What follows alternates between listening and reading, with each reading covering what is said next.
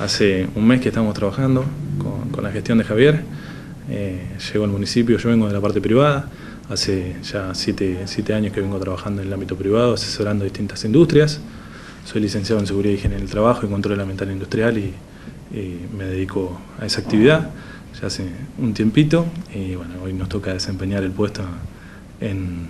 en la municipalidad, que bueno, lo vamos a hacer siempre con, con, ganas y dedicación. Hemos comenzado a trabajar, eh, tenemos destinado para eso eh, tres grupos de trabajo, hoy por hoy trabajando bajo la dirección de, Diego Sánchez, que, está en la Secretaría de Obras Públicas, en cuanto a la cuadrilla de poda, y hemos estado evaluando distintos casos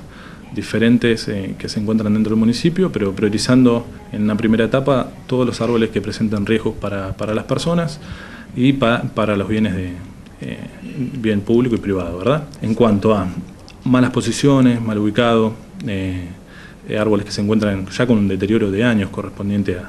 al, tiempo que están instalados ahí, así que bueno, priorizando primero la, poda y extracción de estos tipos de ejemplares y, luego avanzando con, las demás tareas. Bueno, en algunos casos puntuales, por ejemplo en San Lorenzo y Chacabuco, era un árbol que si bien estaba en, buenas condiciones, estaba en un lugar inapropiado, en una ochava. Estaba, ese estaba en ochava, sí, eh, fue uno de los primeros casos de los reclamos que teníamos asentados en la Secretaría de Obras y Servicios Públicos y dimos prioridad en caso de, la extracción de este mismo por el hecho de que estaba en un lugar que nos podría llegar a provocar un accidente eh, eh, con, respecto a las personas que transitan por el lugar. dificultaba la visibilidad, más de noche, y antes de que pase o tengamos algún suceso que sea desafortunado,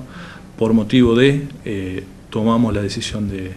hacer la extracción. La gente se puede acercar a, la Secretaría de Obras y Servicios Públicos, que, está en pasaje, en pasaje Salas, eh, disculpen, eh, ahí puede asentar los reclamos pertinentes,